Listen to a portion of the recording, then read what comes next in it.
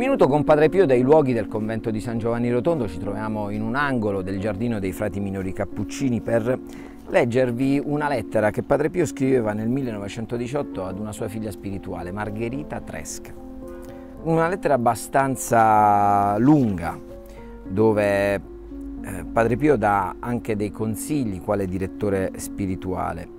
Ecco, gli, gli, gli dà una risposta. Dice Padre Pio, rispondendo alla domanda che mi fai circa i raggi di luce, premetto e ti assicuro in nome di Dio che tu sei nella purga passiva di spirito.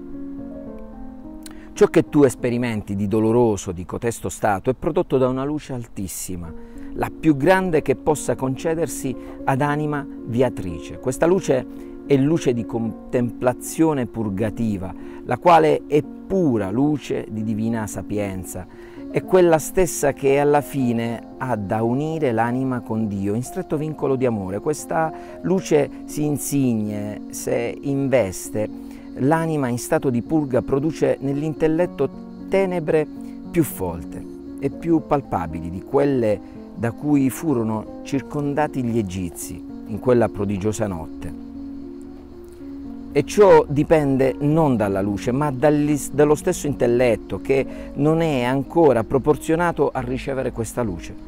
E anche perché ne è affatto indisposto per molte imperfezioni, debolezze in cui si trova coinvolto. Ciò che avviene nell'intelletto si va in pari tempo e proporzionatamente verificando nelle altre potenze dell'anima e dello stesso appetito sensibile. Ora, mentre trovarsi l'anima in questa purga dolorosissima, nessuna luce può l'anima percepire, nessun raggio può afferrare del divin sole.